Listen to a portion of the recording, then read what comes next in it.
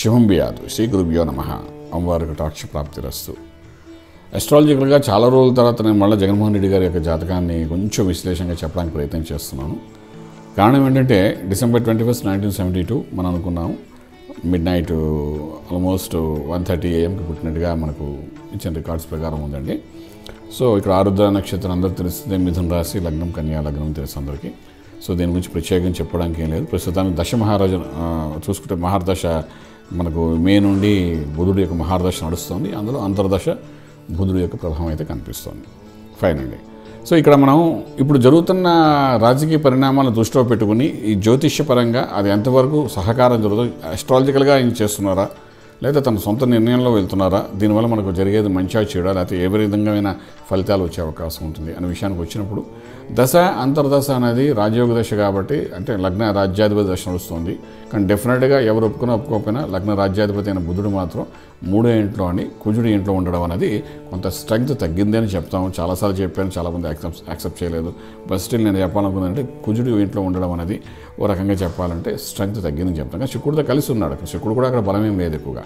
అంటే కలిసి ఉన్న కొంచెం స్ట్రెంగ్త్. అంటే ఒక సెవెంటీ ఫైవ్ పర్సెంట్ యొక్క స్ట్రెంగ్త్ ఆ యొక్క బుధుడికి ఉంటుందన్నమాట.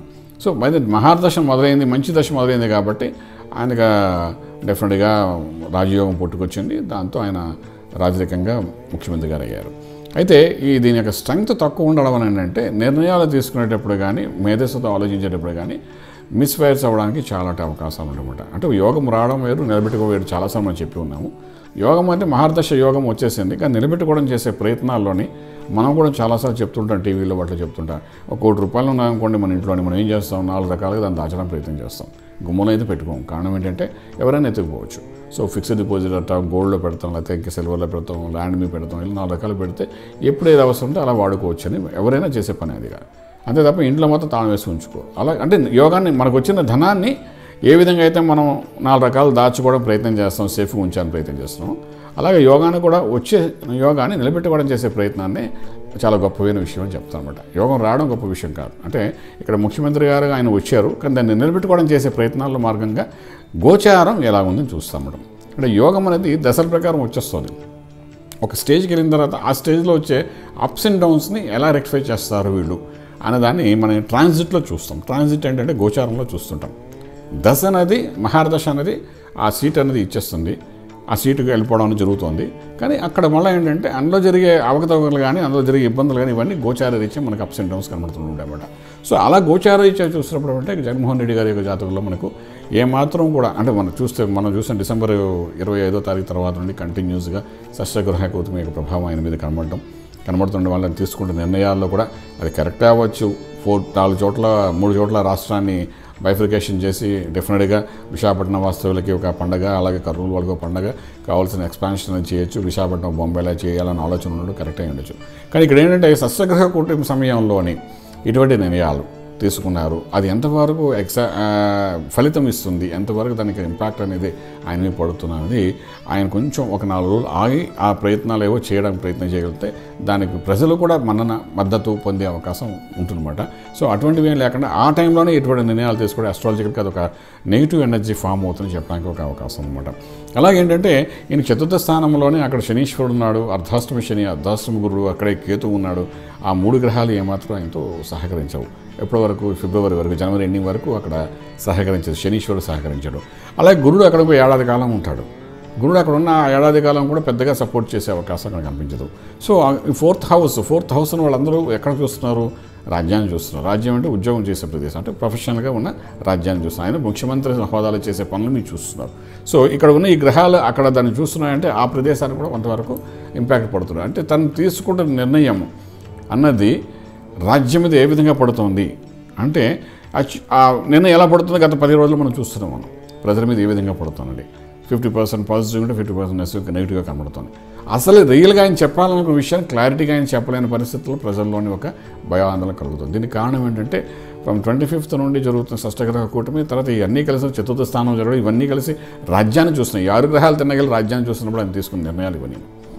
ఆరు గ్రహాల్లో మూడు మంచివి మూడు చెడు ఉన్నాయి. అంటే పాజిటివ్ ఇచ్చే మూడు నెగిటివ్ ఇచ్చే మూడు. అదే ఇంపాక్ట్ మనకి అస్ట్రాలజికల్గా ఏముందో అదే ఇంపాక్ట్ అనేది రాజధాని దగ్గర తీసుకోండి అమరావతిలో తీసుకోండి లేదా విశాఖపట్నం తీసుకోండి కర్నూలులో తీసుకోండి. ఒక్కసారి అక్కడ మారుస్తే శ్రీకాకుళం అంటే మనకు కర్నూలు వాళ్ళు గొడవ చేయడం మొదలు పెడతారు. మాకు కావాల్సిన మాకు ఇవ్వండి అంటే. ఇంకా అడగడానికి హద్దులే ఉండవు ఎవరైనా సో నిర్ణయం తీసుకున్న సమయం అనేది మనకు చెప్పాలంటే అంత పర్ఫెక్ట్ టైంలో ఆయన పర్ఫెక్ట్ డిసిషన్ ఎటువంటి అంశాలు ఏమైనా కరెక్ట్గా కనిపించలేదు అస్ట్రాలజికల్గా it has to be little more time తర్వాత ఇంకొకటి ఏంటంటే దీనికి పాజిటివ్గా ఒక విషయాన్ని చెప్పాలనుకుంటే ఏంటంటే ఈ దాంట్లోని రెండు వేల ఇరవై ఒకటి సెప్టెంబర్ అంటే నెక్స్ట్ ఇయర్ ఇరవై కాదు ఇరవై ఒకటి సెప్టెంబర్లోని బుధుల్లో కేతు వచ్చిన తర్వాత కొన్ని యోగాలు ఆరంభమవుతాయి కనుక అక్కడ స్థల మార్పు స్థాన మార్పు వివరంగా కనిపిస్తుంది కాబట్టి ఏ నిర్ణయం ఇప్పుడు తీసుకున్న దానికి కావాల్సిన బిల్డప్ దానికి కావాల్సిన యాక్టివిటీస్ అని రెండు వేల ఇరవై ఒకటి సెప్టెంబర్లో చాలా అద్భుతంగా ఉండడానికి అవకాశం ఉన్నాయి. బట్ స్టిల్ నేను ఇప్పుడు కూడా చెప్పాలనుకుంటున్నానంటే జనవరి ఎండింగ్ అయ్యేంత వరకు అంటే శనీశ్వరుడు పూర్తిగా మకరంలో ప్రవేశించేంత వరకు మాత్రం అనవసరంగా సమస్యలు క్రియేట్ చేసే వాటి మీద కొంచెం ఆలోచించి నిదానంగా తీసుకోగలిగితే కొన్ని నిర్ణయాలు ఎక్స్ప్లెనేషన్ ఇచ్చి అంటే ప్రజలకు ఒక విషయాన్ని ఎక్స్ప్లెనేషన్ చేసి తర్వాత నెమ్మదిగా దాని మీద టేక్ ఓవర్ తీసుకుని దాని మీద కావాల్సినంత ఫీడ్బ్యాక్ తీసుకుని దాంతో ముందుకు వెళ్ళడానికి కొంచెం ప్రయత్నం చేయగలుగుతారు.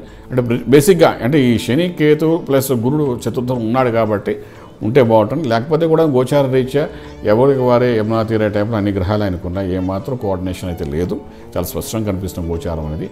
గోచారం మరొకసారి స్పష్టంగా చెప్తున్న విషయం ఏంటంటే గ్రహచారం అనేది మహారాజం చేసింది. ఇది మహాదశ మొదలైంది మహారాజం చేసింది. అది అందరూ యాక్సెప్ట్ చేస్తున్నారు. ఆ మహారాజైన ప్రదేశంలో గోచారం అనేది అప్స్ అండ్ డౌన్స్ చూపిస్తుంటన్నమాట అక్కడ మనం నిలబెట్టుకోవాలి. అంటే రాజయోగం రావడం వేరు నిలబెట్టుకోవడం వేరు. చాలాసార్లు చెప్పాం కాబట్టి. ఆ నిలబెట్టుకోవడానికి చేసే ప్రయత్నంలోనే సమకాలీకులందరినీ దగ్గరగా తీసుకుని జాగ్రత్తగా ప్లాన్ చేసుకుని వెళ్ళగలిగితే మాత్రం బాగుంటుంది. దానికి కూడా ట్రాన్సిట్ అనేది ఇప్పుడైతే కోఆర్డినేట్ చేయట్లేదు కాబట్టి మేజర్ డిసిషన్స్ ఏమిటైతే ఇలాంటిన్నాయో ఇలాంటి విషయాల్లో తగు జాగ్రత్త తీసుకోవాలి. నిర్ణయం ఒకటి పదిసార్లు ఆలోచించి తీసుకోగలిగితే చాలా బాగుంటుంది. లేకపోతే ఇది నెగిటివ్ ఎనర్జీ ఎక్కువ ఫామ్ అయితే మార్కెట్లో దానివల్ల ఏంటంటే ఇబ్బందికరంగా ఉండే అవకాశం ఉంటుంది. తర్వాత ఇది ఒక రకంగా చెప్పాలంటే లగ్న ప్రకారం భాగ్యంలో ఉన్నాడు శని. అది ఇప్పుడు మనం చూసుకుంటే చతుర్థంలో ఉన్నాడు వాడు పంచమలోకి వస్తున్నాడు. అయితే అక్కడ ఉండి కూడా మనకి ఏంటంటే భాగ్యంలో ఉండి కూడా అది పెద్ద బెనిఫిషియల్గా మనకేమి చూపించట్లేదు లక్ అనేది ఫేవర్ చేయట్లేదు. సో ఇవన్నీ మనకు ఒక రకంగా చెప్పాలంటే ఒక నెగిటివ్ ఎనర్జీ అయినప్పటికీ నిదానంగా ఇప్పుడున్న సమయం కాకుండా ఒక నెల రోజుల తర్వాత ఉండి కొంచెం జాగ్రత్తగా సమయం కొంత బాగుంది కాబట్టి నెల రోజుల తర్వాత కొన్ని నిర్ణయాలు తీసుకుంటే బాగుంటుంది. ఈ వన్ మంత్ కూడా ఆల్మోస్ట్ మనకు వన్ మంత్ అంటే జనవరి అంతా ట్వంటీ ఫిఫ్త్ వరకు మాత్రం వీలైనంత వరకు పరిపాలన నిదానంగా చేసుకుంటూ అనవసరమైన నిర్ణయాలు అంటే ప్రజలకు ఇబ్బంది పెట్టే నిర్ణయాలు తీసుకోకుండా కొంచెం జాగ్రత్తగా ఉండగలిగితే చాలా బాగుంటుంది మనం అస్ట్రాలజికల్గా చెప్పగలుగుతాము. ఆ తర్వాత నెమ్మదిగా రెండు వేల ఇరవై ఒకటి సెప్టెంబర్ నుండి కేతు వచ్చిన తర్వాత మహాదశం స్టార్ట్ అవుతుంది కాబట్టి అక్కడ నుండి ఆయన ఎస్టాబ్లిష్మెంట్ చాలా బాగుంటుంది. ఫిఫ్టీన్ ఇయర్స్ వరకు ఏ ఇబ్బంది లేకుండా. అని ఈ ఇక్కడున్న ఇచ్చిన అంశాల ప్రకారం ఇచ్చిన డే టు టైం ప్రకారం మాకు తెలిసిన విద్య ప్రకారం కనబడుతుంది ఏదో చెప్పాలని ప్రయత్నం చేస్తున్నామండి శుభం బియాదు పూర్తి వివరాలకు సంప్రదించండి. శ్రీ వేదమాత గాయత్రి జ్యోతిష్యాలయం. Brahma Srimantha Suryanarayana Sharma. Srinilayam first floor one nought one Sai Vaibhav layout Chitrapuri colony Khajaguda Hyderabad five lakhs eight. సంప్రదించవలసిన phone numbers triple eight triple five nine one four seven triple eight triple five nine one four eight nine eight four triple nine six triple four